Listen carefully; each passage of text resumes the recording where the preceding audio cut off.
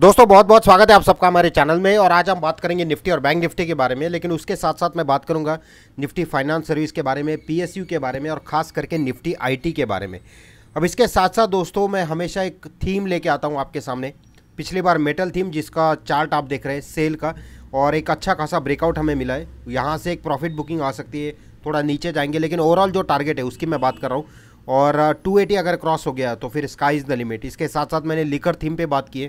मैंने IT theme पे बात की है, मैंने बैंकिंग पे बात की थी, मैंने टाटा ग्रुप पे बात की real estate banking pharma chemical सारे स्टॉक के बारे में बात हो चुकी है। तो इस बार मैं एक अलग चीज़ लेके आया हूँ दोस्तों। हमेशा मैं कहता हूँ कि मैंने ये स्टॉक पहले इन्वेस्टमेंट ग्रुप में दिया हुआ है, लेकिन आज मैं आपके सामने एक्सप्लेन कर रहा हूँ। तो मैं आज वो स्टॉक्स दूँगा आपको जो मैंने रिसेंटली इन्वेस्टमेंट ग्रुप में दिए हुए।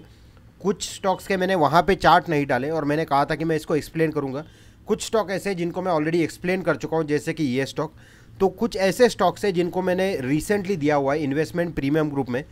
मैं उन स्टॉक्स के बारे में बात करूँगा और ज़्यादा डिटेल में बात नहीं करूँगा क्योंकि सारे वेल नोन स्टॉक्स हैं। तो मैं सिर्फ़ एक चार्ट आपको दिखाऊँगा और किस प्राइस पे मैंने दिया था, क्या टारगेट है, क्या स्टॉप लॉस है, कहाँ तक होल्ड कर सकते हैं। जिनका व्यू पाँच साल, दस साल का है, वो क्या कर सकते हैं, सारी चीज़ों के बारे में बात करूँगा। लेकिन सबसे पहले शुरुआत करेंगे निफ्टी और बैंक निफ्टी के बारे में। निफ्टी के बारे में हमने एक रिवर्सल प्रेडिक्ट किया था, अगर आपको याद होगा, और मैंने ये कहा था उस वक्त कि यहाँ पे शॉर्ट नहीं करना है आपको, चाहे जो भी हो जाए। अगर शॉर्ट करोगे तो ट्रैप हो जाओगे। और ये मेरा मैसेज था, ये मैंने बोला था इक्कीस आठ सौ जब हमने होल्ड किया था। टू बी प्रिसाइज जो लो हमने लगाया वो है इक्कीस आठ सौ इक्कीस का। और वहाँ से जो बाउंस आया है हंड्रेड वन फिफ्टी पॉइंट का इमीजिएटली विच क्लियरली इंडिकेट्स कि वहाँ पे हमने एक सपोर्ट होल्ड किया है।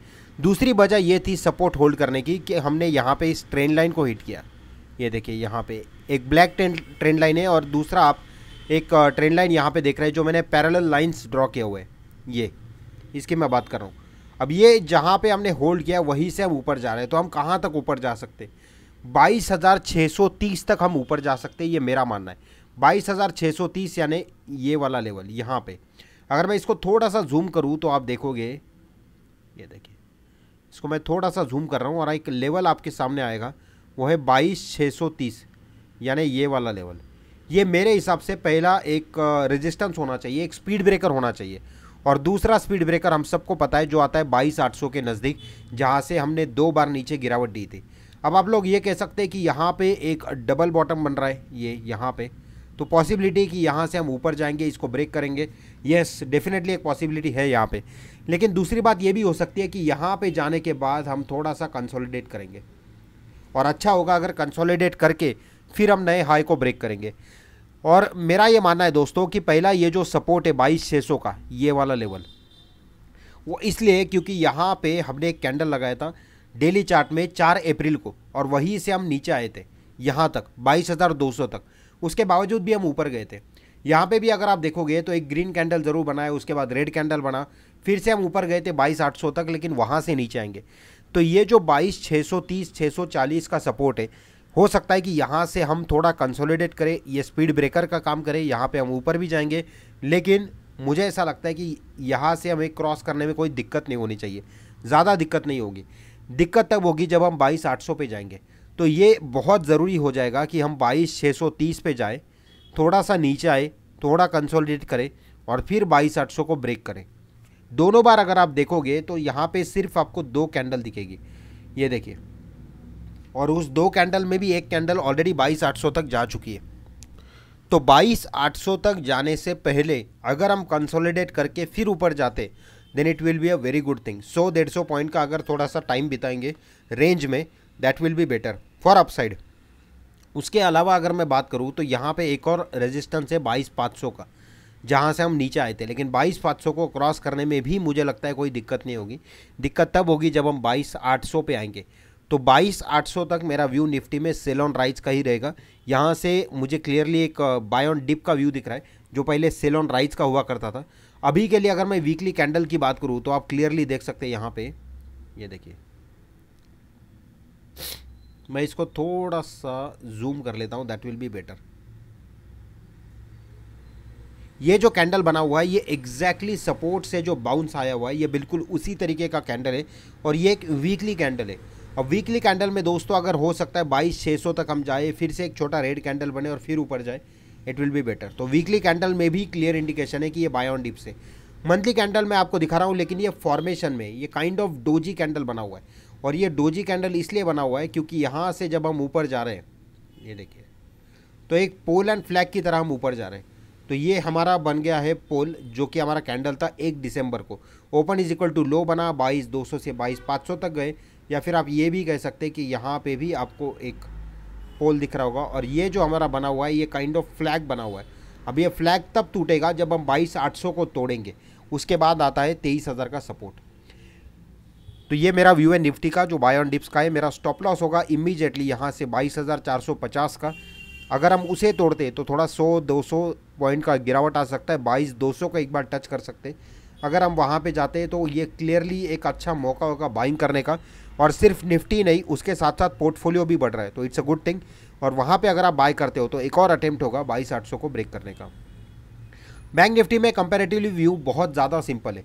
अगर आप यहाँ पे देखोगे तो पहले मैं आपके सामने वीकली चार्ट लेके आऊँगा, और वीकली चार्ट में आप देखोगे तो जो मोमेंट था वो बहुत बड़ा मूवमेंट था, लेकिन अभी अगर आप देखोगे तो वो स्क्वीज़ हो गया है। ये देखिए, ये बड़ा एक मोमेंट है लेकिन उसके बाद अगर आप देखोगे तो मोमेंट जो स्क्वीज़ हो चुका है। और यहाँ पे ये जो कंसोलिडेशन हुआ है, इसको ब्रेक करना ज़रूरी है। और ये ब्रेक तब होगा जब हम फिफ्टी थाउज़ेंड को ब्रेक करेंगे।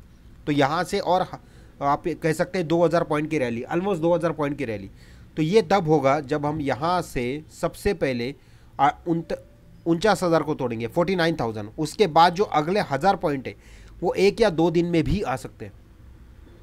इसका जो वीकली चार्ट है, वो बेटर है कंपेयर टू निफ्टी अगर आप देखोगे यहाँ पे, इस वीक में हमने जो कैंडल लगाया हुआ है, वो भी एग्जैक्टली exactly सपोर्ट से बाउंस दे रहा है। और इसका जो पहला रेजिस्टेंस आता है, वो आता है forty eight thousand five hundred के आसपास।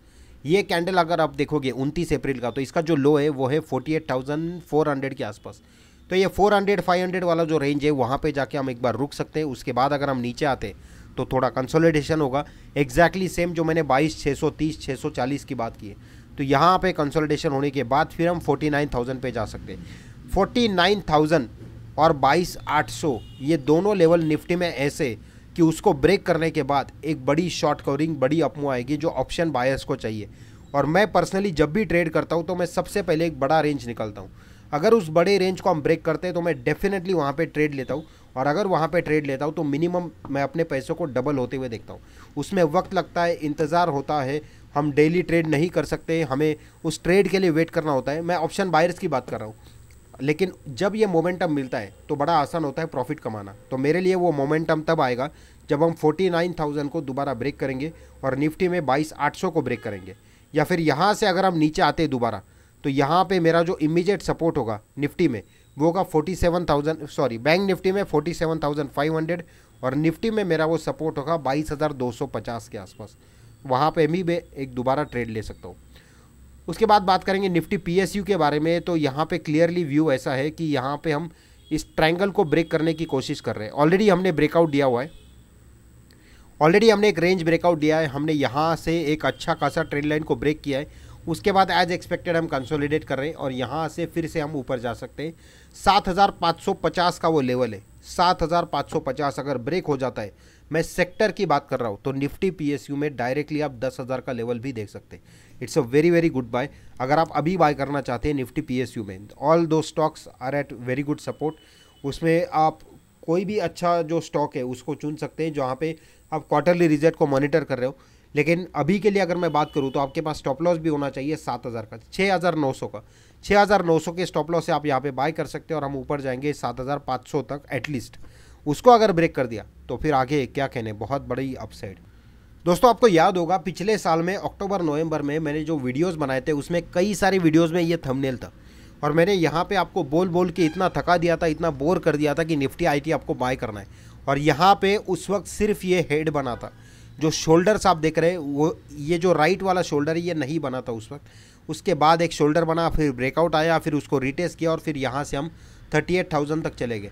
अब थर्टी एट थाउज़ेंड का रेजिस्टेंस वही रेजिस्टेंस है जहाँ पे हमने इसको हिट किया था। ये देखिए यहाँ पे। ये एग्जैक्टली exactly उसी रेजिस्टेंस पे आके यहाँ से नीचे गिर रहा है। लेकिन साथ में बात ये भी है कि यहाँ पे अब इसने एक सपोर्ट को हिट किया हुआ है। जो पहले रेजिस्टेंस हुआ करता था, अब बन गया है सपोर्ट ये एक सपोर्ट उसके बाद हमने इसे तोड़ दिया, फिर हम आ गए यहाँ पे, फिर हम इसे क्रॉस नहीं कर पाए, जो ब्रेकआउट रिटेस की मैंने बात की। और जैसे ही हमने इसे क्रॉस किया था, अगर आप कैंडल देखोगे अगले वीक का तो open is equal to low है ऑलमोस्ट और वहाँ से हम चले गए थर्टी फाइव थाउज़ेंड और ओवरऑल हम चले गए थर्टी एट थाउज़ेंड पे। तो मेरा व्यू ये है कि अगर हम यहाँ पे इस वक्त होल्ड करते थर्टी थ्री थाउज़ेंड को अगर हम होल्ड करते तो निफ्टी आईटी में हम दोबारा थर्टी एट थाउज़ेंड पे जा सकते हैं। और अगर हमने इसे ब्रेक कर दिया थर्टी एट थाउज़ेंड को तो फिर एक बड़ी शॉर्ट कवरिंग बड़ी अपमूव बड़ी रैली आपको देखने को मिलेगी, जो आपने कोरोना के वक्त देखी थी। लेकिन इसके साथ साथ अगर उतनी बाइंग करनी है, उतना अगर लेवल ब्रेक करना है तो एक ट्रिगर चाहिए, एक उस तरह का न्यूज़ चाहिए, जहाँ से निफ्टी आईटी ब्रेकआउट करेगा।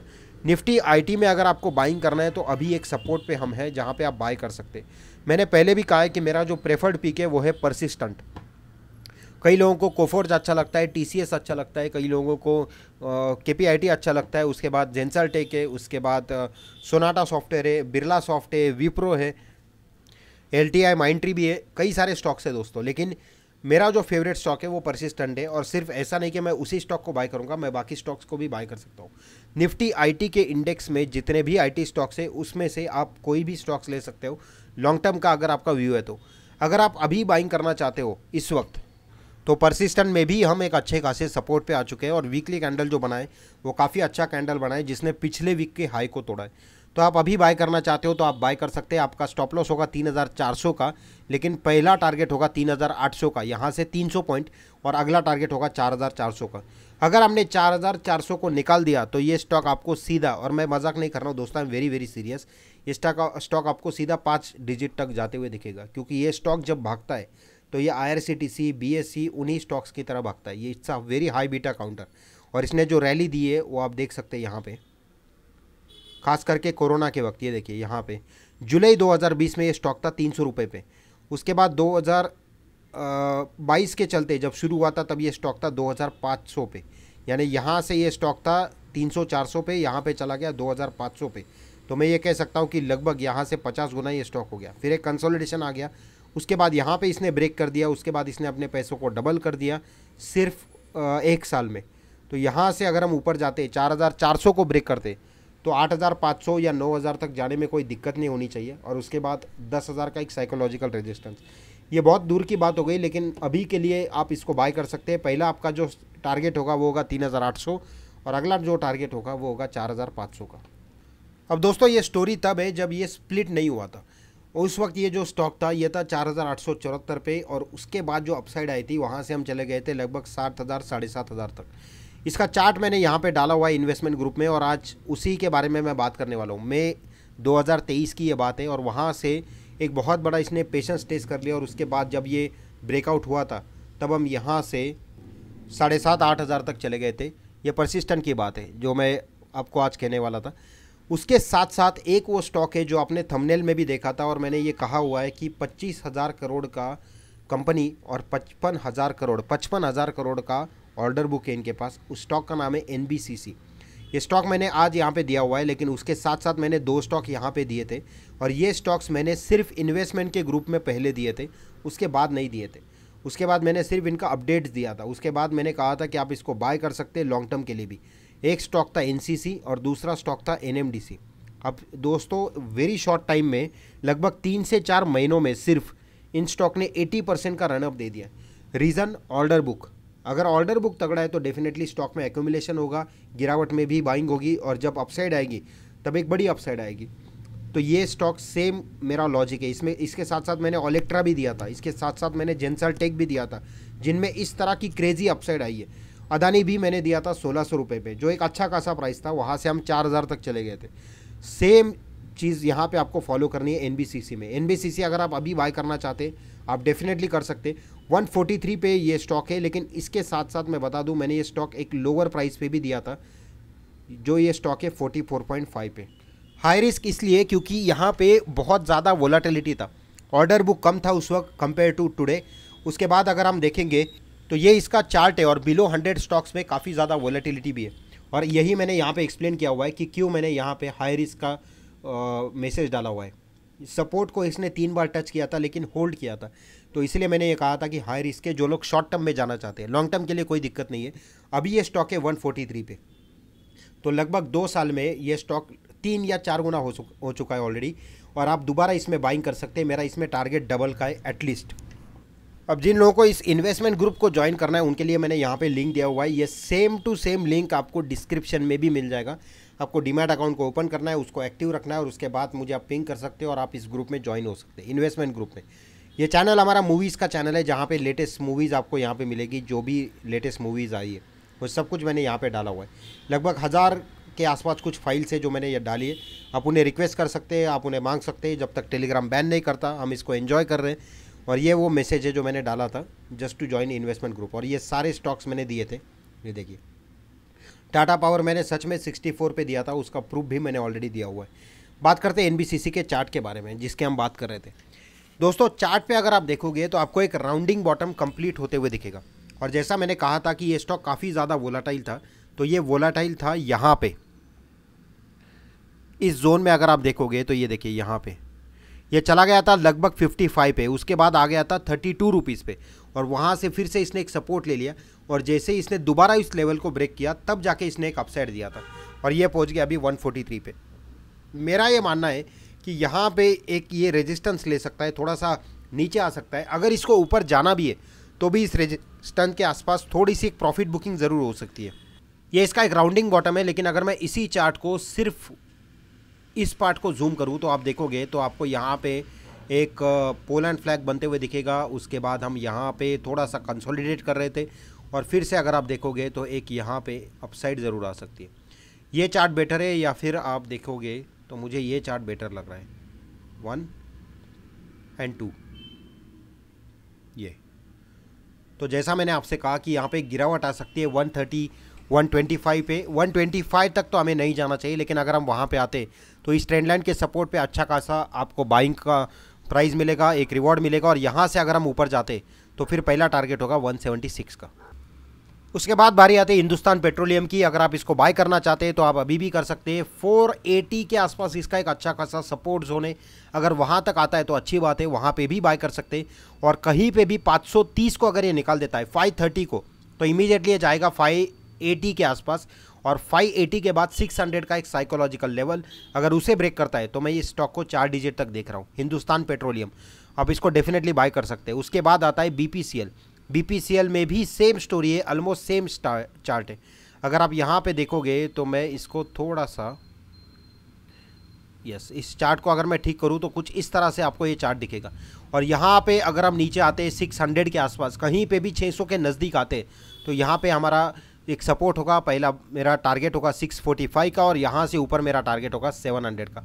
700 अगर ब्रेक ब्रेक हो जाता है तो फिर आपको यहाँ पे अपसाइड दिखेगी। And let me tell you Hindustan petroleum और बीपीसीएल दोनों का ऑलमोस्ट चार्ट सेम है।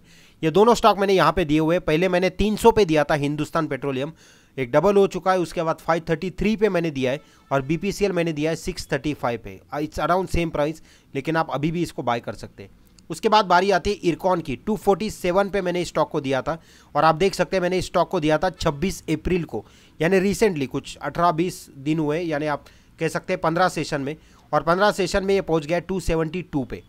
तो आप ये कह सकते हैं कि ऑलमोस्ट 20 परसेंट तक अपसाइड इसने दिया है। लेकिन मेरा ये मानना है कि ये स्टॉक यहाँ पर रुकेगा नहीं। वीकली कैंडल बहुत बढ़िया है और जो एक टेक्स्ट बुक ब्रेकआउट होता है, उस तरह का ब्रेकआउट है। लेकिन आ गए एग्जैक्टली उसी रेजिस्टेंस पे 277 अगर 277 27, 280 को निकाल देता है तो फिर यहाँ से 500 तक का टारगेट इसमें आ सकता है। इरकॉन में बहुत अच्छा मूवमेंट है बहुत अच्छा स्ट्रक्चर भी है और आप इसको बाय करना चाहते हैं तो मेरी सलाह होगी कि आप 260 255 पे बाय कर सकते हैं। उसके बाद हम यहाँ से 280 को दोबारा ब्रेक करने की कोशिश करेंगे। अगर गिरावट आती है तो। लिकर स्टॉक का मैंने एक सेपरेट वीडियो में सीरीज़ बनाया था और उस पर मैंने बात की थी इन स्टॉक्स के बारे में। लेकिन उसमें जो एच की बात है, वहाँ पे मैंने ये भी कहा था कि मेन जो रेजिस्टेंस है, वो आता है यहाँ पे 375 पे। तो जब तक 375 ब्रेक नहीं होता, ये इसी रेंज में आपको घूमता हुआ दिखेगा। रिज़ल्ट काफ़ी अच्छा था। बियर सेक्टर का वन ऑफ़ द लीडर भी है। आप इसमें बाय भी कर सकते हैं, लेकिन दिक्कत ये है कि ये बहुत ज़्यादा वोलाटाइल है। 240 से लेके 375 तक का इसका रेंज है। लेकिन मैं अगर आपके सामने मंथली चार्ट को रखूँ तो आप देखोगे कि इसमें भी kind of pole and flag का पैटर्न है। और ये इस लेवल इस चार्ट को मैं यहाँ पे रख देता हूँ। तो एक कोशिश ज़रूर हो रही है यहाँ से इस लेवल को ब्रेक करने की। अगर यहाँ पे 330 को ये ब्रेक कर देता है तो 380 तक ये जा सकता है।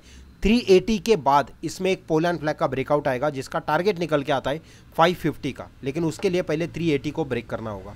तो ये बात है एच के बारे में। और आखिरी स्टॉक जिसकी मैं बात करूँगा वो है I R F C I R F C में दोस्तों, ये मेरा पिछले वीडियो का थंबनेल भी था, अगर आप देखोगे यहाँ पे। ये देखिए। एक लाख करोड़ का मार्केट कैप दो लाख करोड़ वन साल का वन ईयर का return three hundred percent fresh breakout for ten X की मैंने बात की है। अब ये टेन एक्स का लॉजिक क्या है, ये भी मैं आपको बताऊँगा। सबसे पहली बात ये है कि जब मैं आई आर एफ़ सी मैंने दिया था तो ये मेरे लिए एक इमोशनल स्टॉक है, क्योंकि ये मैंने आपको, अपने फादर को दिया था एज अ गिफ्ट और ये स्टॉक मैंने दिया था उनको कहा था कि आप इसमें सारा पैसा भी डाल सकते हैं। उस वक्त ये प्राइस था thirty five extremely undervalued extremely undervalued उसके बाद ये स्टॉक चला गया था 180 पे। 35 से जो गया है ऊपर ये रुका नहीं स्टॉक दोस्तों। और मुझे काफ़ी प्राउड फील होता है इस बात का क्योंकि मैं एक तरह से आ, उनको मैंने प्रॉफिट बना के दिया। हमारे लिए तो बहुत कुछ किया है उन्होंने लेकिन मेरी तरफ़ से एक छोटा सा एक टोकन था। आईआरएफसी अभी भी हमने उसे होल्ड किया हुआ है। मेरा टारगेट है यहाँ पे 180 195 का। अगर 200 हम ब्रेक कर देते 200 तो फिर इस स्टॉक में जो आईआरसीटीसी में हमने रैली देखी थी, उस तरह की रैली आपको यहाँ पे दिखने को मिल सकती है। 82 पे मैंने ये स्टॉक ज़रूर दिया था, लेकिन हम इसको डिस्कस कर रहे थे 30 40 से। और 82 पे जब मैंने इसको दिया था, तब मैंने इसको एक्सप्लेन किया था कि यहाँ पे एक और मैं यूट्यूब वीडियो बनाऊँगा, उसमें एक्सप्लेन करूँगा, और वो यूट्यूब वीडियो है यहाँ पर ये। और इसको मैंने बार बार मल्टीपल टाइम्स मैंने अपडेट दिया हुआ है कि आप इसको बाय कर सकते हैं। 120 एक अच्छा खासा सपोर्ट जोन था इसका। अभी के लिए जो सपोर्ट जोन आएगा, वो होगा 160 का। 160 150 पे अगर आपको ये मिलता है तो आप बाय कर सकते हैं। आप अभी भी इसको बाय कर सकते हैं। टारगेट होगा 200 का मिनिमम उसके बाद अगर हम ऊपर जाएँगे तो फिर मेरा टारगेट होगा यहाँ से 400 500 का, जो इमीजिएटली आ सकता है। So that's it for today thank you so much guys and thank you for your time